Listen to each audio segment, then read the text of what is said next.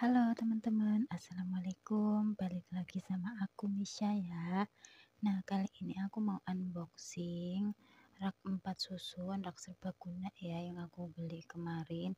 Ini harganya murah banget, cuman 50 ribuan ya. Kalau teman-teman mau nanti aku taruh link produknya di description box oke? Okay?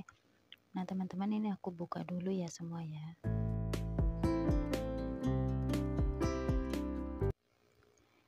Nah itu anak aku dari belakang mau ikutan juga karena dengar aku prepet-prepet buka gitu ya jadi dia penasaran dan akhirnya dateng.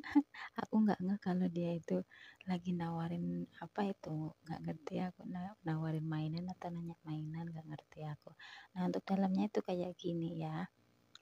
Tuh dia belum dirakit teman-teman jadi harus dirakit sendiri nanti kalau aku sendiri emang lebih suka yang ngerakit sendiri di rumah kayak gini sih daripada yang datang udah dirakit gitu kan. Jadi volumenya itu besar ya. Kalau untuk pengiriman paket dari jauh itu lebih enak sih dirakit sendiri.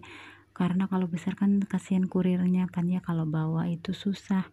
Kalau pakai kargo juga lumayan mehong Selain itu jadi lebih mudah juga kalau kita mau pindah-pindah ya barang-barang ini bisa dicopotin lagi dibongkar pasang lagi jadi hemat tempat banget. Dan ini bocilnya juga nggak mau kalah dia mau bantuin mamanya bang apa pasang-pasang gini ya. Tuh teman-teman ini pasangnya juga gampang banget nggak ribet ya cuman ditinggal dicantol-cantolin gitu dimasuk-masukin karena udah ada lubangnya disediain kan. Tinggal dimasuk-masukin aja sama sih kayak ngerakit eh, rak-rak uh, pada umumnya gitu Nah ini tuh raknya multifungsi banget. Teman-teman bisa pakai buat tempat make up, tempat rak-rak piring juga bisa ya atau tempat perabotan gitu.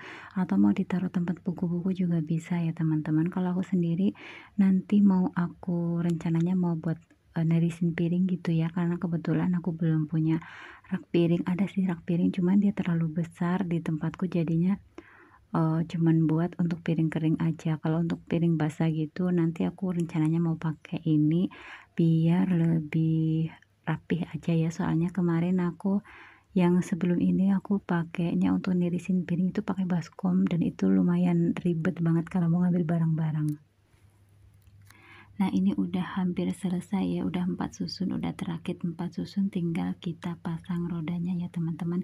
Untuk pasang rodanya di bawah ya di sebelah bawah. Kalau teman-teman misalnya masih belum apa belum terlalu kenceng gitu kan nanti bisa ditekan-tekan aja. Terus untuk pasang rodanya juga tinggal dimasukin ke lubang-lubang yang udah disediain gitu ya. Tinggal putar aja dimasukin terus diputar gitu teman-teman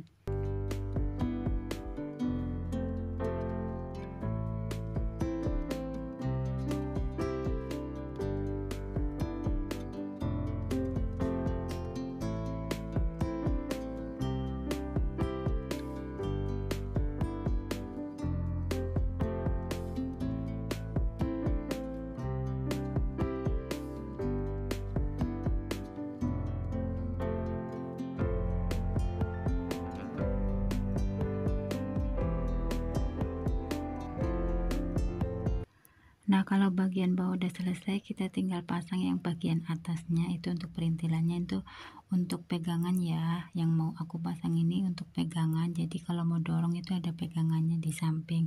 Terus di sampingnya juga ada untuk cantolan-cantolan kayak gitu ya. Bisa ditaruh tempat talenan atau gunting-gunting atau terserah ya sembarang aja. Dan ini kalau dilihat dari dekat kayak gini ya teman-teman Oke, terima kasih yang sudah nonton. Sampai jumpa di video selanjutnya. Bye bye.